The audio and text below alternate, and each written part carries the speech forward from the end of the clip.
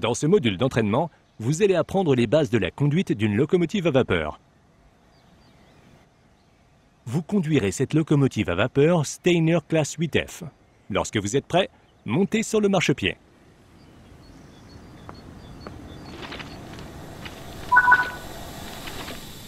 Asseyez-vous à la place du conducteur.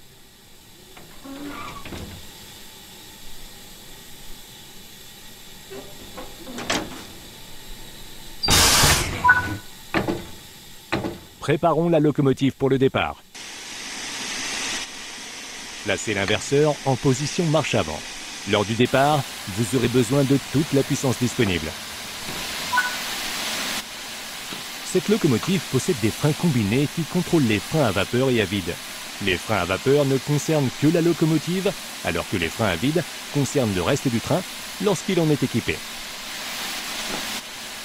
Les freins sont desserrés lorsqu'un vide est créé. Le conducteur peut utiliser le levier de frein pour supprimer le vide, ce qui commencera à activer les freins.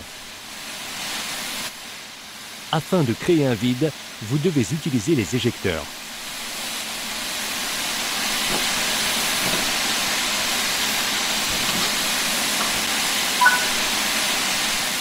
Le petit éjecteur doit rester ouvert lorsque le train est en marche.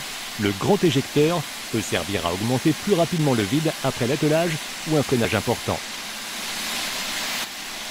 Ouvrez les purgeurs pour évacuer l'eau qui s'y trouve après que la locomotive a été laissée à l'arrêt.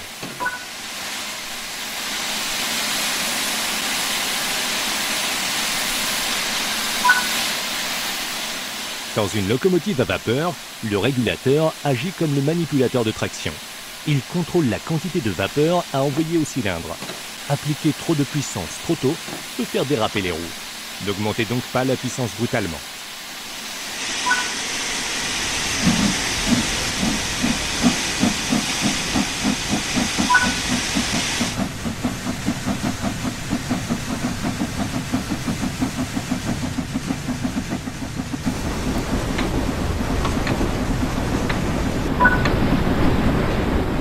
Prenons de la vitesse.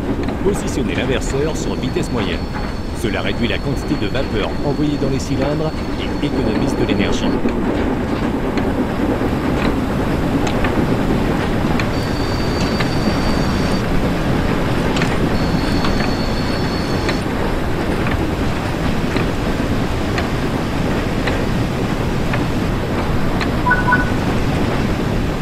Arrêtez-vous à l'emplacement indiqué.